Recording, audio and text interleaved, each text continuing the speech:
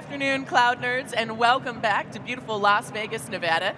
We are at AWS reInvent Day 4, afternoon of Day 4 here on theCUBE. I'm Savannah Peterson, joined by my fabulous co-host, Paul Gillen. Paul, you look sharp today. How oh, you doing? You're just as fabulous, Savannah. You always look sharp. I appreciate that. They pay you enough to, to keep me buttered up over here. It's, it's, it's, it's wonderful. You're holding up well. Yeah, thank you. I'm, I'm, I'm excited about our next conversation. Two fabulous gentlemen. Please welcome Sam and Monte. Welcome to the show. Thank you. And, and it was great of the PR team to send the most interesting man alive. yes, in person, yeah. yeah. yeah, in the flesh. Our favorite guest so far. Uh, so how's the show been for you guys? Uh, it's been phenomenal. Yeah, yeah, yeah. Um, just spending a lot of time with customers and partners and AWS. Been great, been great.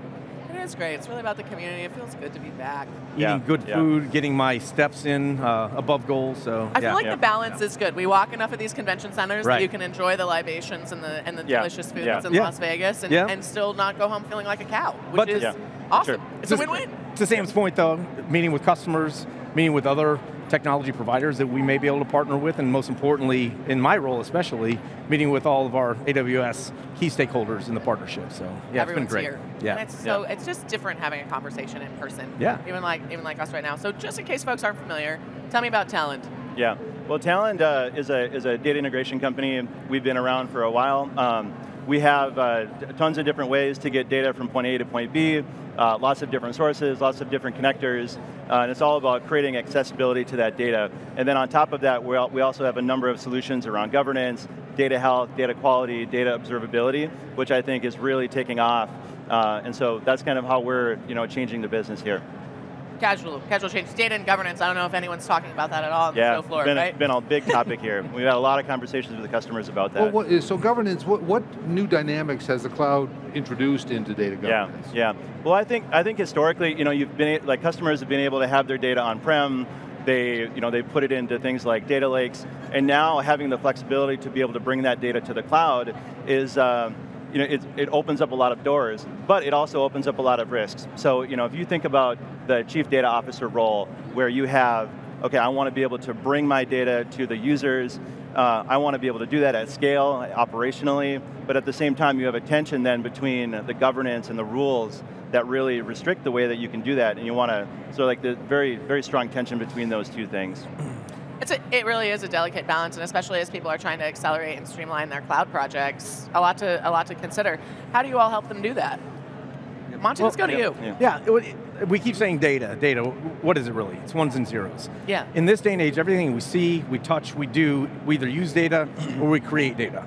And then that, um, we are data, we, quite we literally. literally are Yep. data. Yeah. And so then what you end up with is all these disparate data silos and different applications with different data, and how do you bring all that together? And that's where customers really struggle. And what we do is we bring it all together and we make it actionable for the customer. We make it very simple for them to take the data, use it for the outcomes that they're looking for in their business initiatives. Well, Yeah. so what is it, expand on that, what do you mean make it actionable? Do you tag it, do you organize it in some way?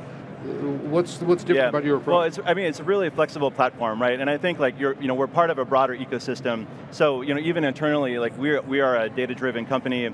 Um, you know, coming into the company in April, uh, I was able to come in and get like this real-time view of like, hey, here's where our teams are, right? And it's like all in front, you know, in front of me in a Tableau dashboard that's populated from you know, Talend integration, bringing data out of our different systems, different systems like Workday, or our, you know, where we're you know, giving offers out to people, right? And so everything from managing headcount to where our AWS spend is, all of that stuff. Now, we've heard a lot of talk about data, and in fact, at the keynote yesterday, there was uh, focused mainly on data, and uh, uh, data, uh, getting data out of silos. How do you play with AWS in that role? Because AWS has other data integration partners. For sure. What, what's different about your relationship? Yeah, Well, yeah, go ahead. Yeah, we've, we've had a strong relationship with AWS for many years now. Um, we've got more than 80 connectors into the different Wow. AWS um, services. Yeah, so we're not new to the AWS game. Um, we align with the sales teams, we align with the partner teams, and then of course we align with all the different business units and verticals so that we can enact that co-sell motion uh, together with AWS. Yeah, and I think from a, from a product standpoint, again, just being a hyper flexible platform, being able to put, you know, again, any, you know, any sort of different type of source of data to any type of different destination, you know, so things like Redshift, being able to, to bring data into those cloud data warehouses is, um, you know, is really how we do that.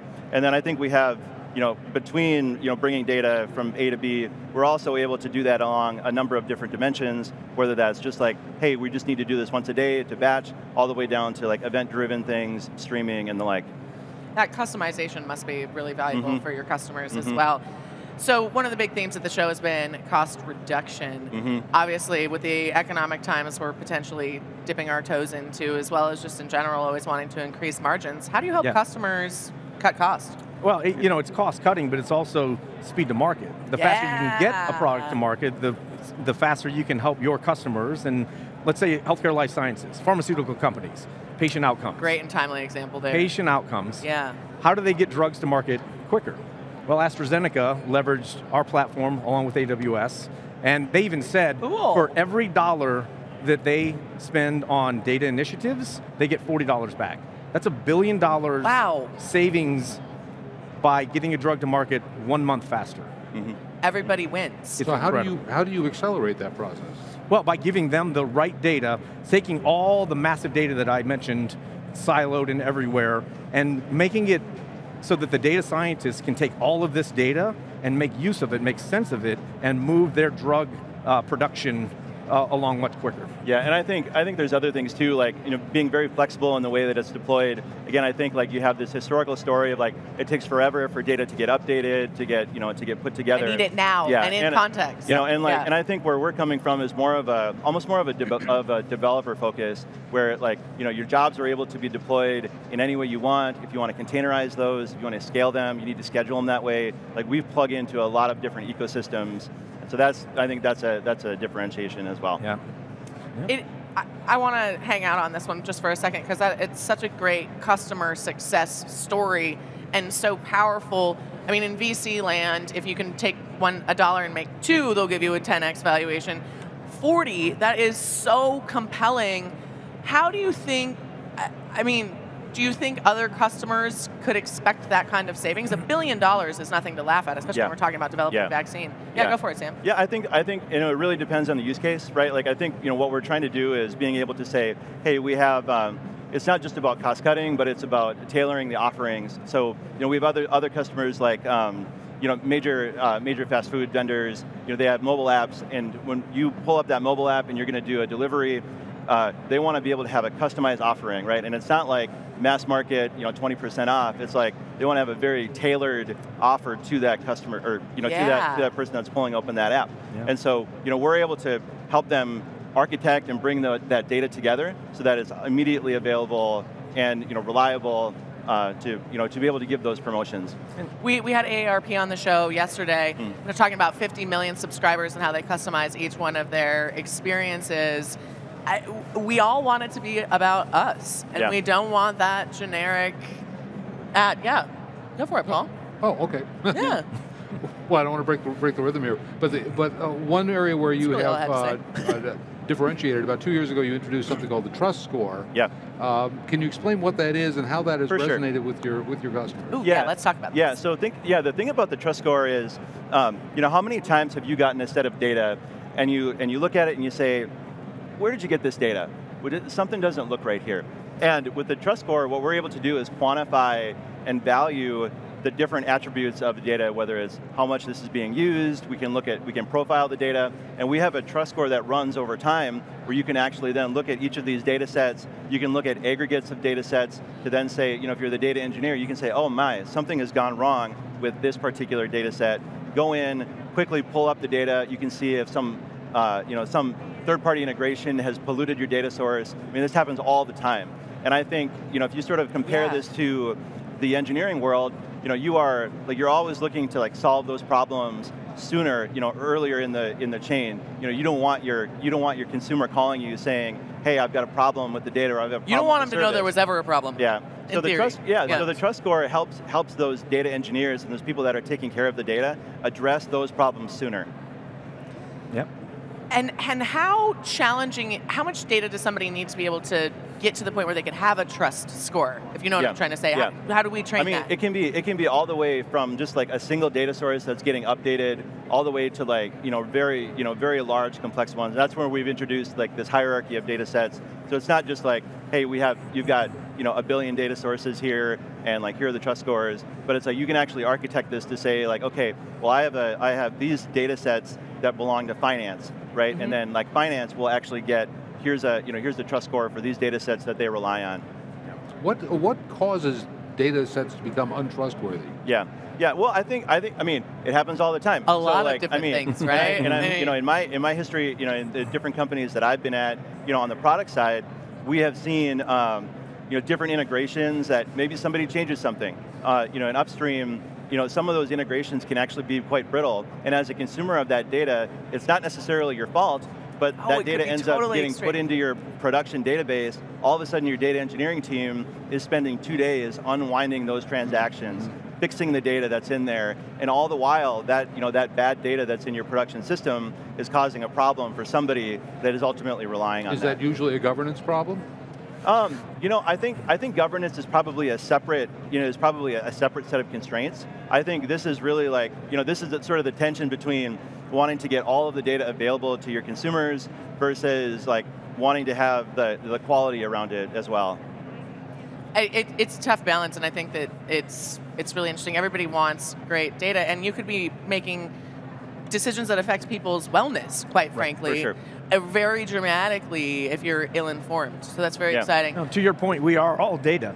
Right. So if the data is bad, we're not going to get the outcomes that we want I know, and we, so. we certainly want the best outcomes for Yeah. ourselves. And so we, we track that data health for its entire life cycle Mm. throughout the process. That's cool, and that probably increases your confidence in the trust score as well, because you're looking at so much Right. data all the time. across- What a, you got a smart thing going on over here. I like it. I, Well, I like it a lot. We believe in it, Yeah, and yeah. Uh, so does AWS, uh, because they are a strong partner of ours, and, and so do customers. I think we mentioned we've had some phenomenal customer conversations what, uh, what a along with success story and case study. My God, I want to like dust your shoulders off right now if I wasn't tethered in. That's super Yeah. impressive.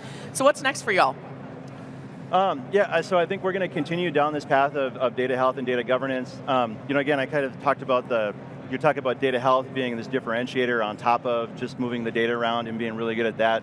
Um, I think, you know, you're also going to have different things around like country level or state level, uh, you know, governance, you know, I mean, Yeah. literal, literal laws that you need to comply with, right? And so like CCPA in being able to say, yeah. I mean, I mean, among a long list of Oodles. right? Yeah, yeah, yeah, yeah. So I think um, you know we're going to be doing uh, some interesting things there. We're continuing to, to prolifer- we are continuing to proliferate the sources of data that we connect to. We're always looking for the latest and greatest things to put you know to put the data into, and uh, you know I think you're going to see some interesting things come out of that too. And we continue to grow our relationship with AWS, our already strong relationship. So you can procure Talend products through the AWS Marketplace. We just announced uh, Redshift serverless support for Talend. All which, the rage. Which Yeah. sounds amazing, but because we've been doing this for so long with AWS, dirty little secret, that was easy for us to do.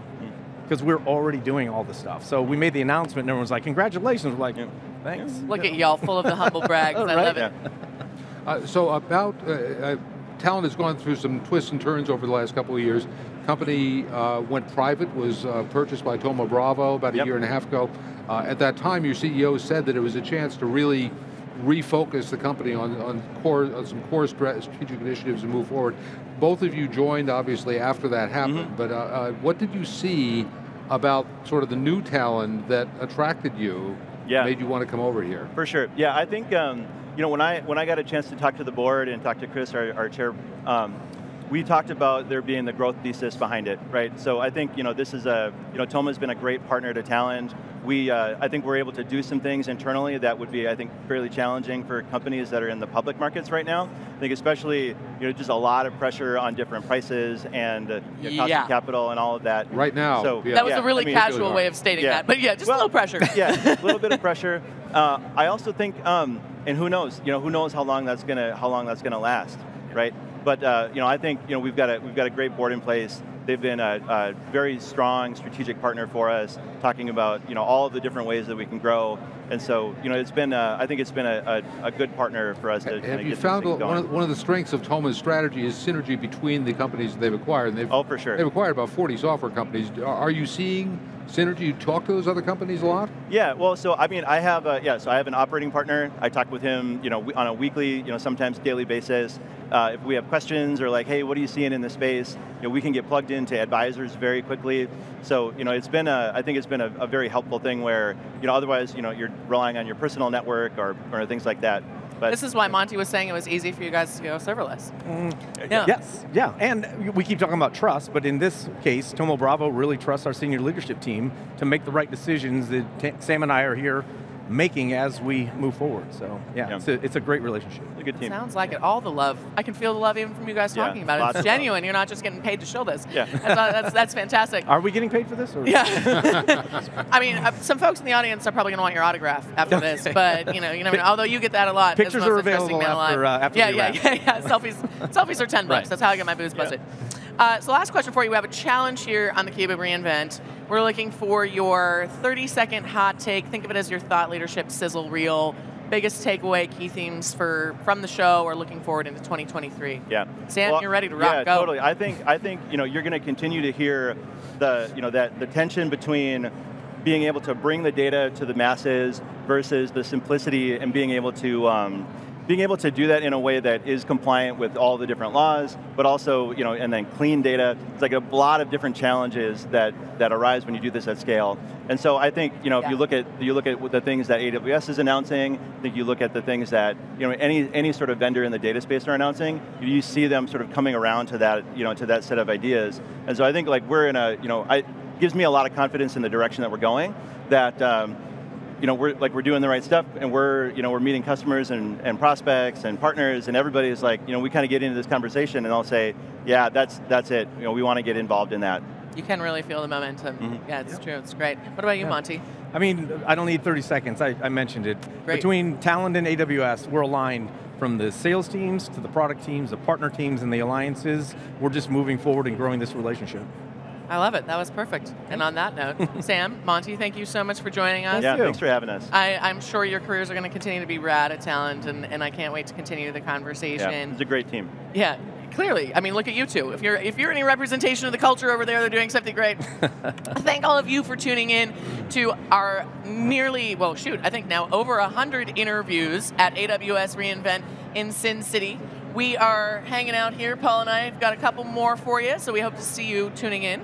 With Paul Gillen, I'm Savannah Peterson. You're watching theCUBE, the leader in high-tech coverage.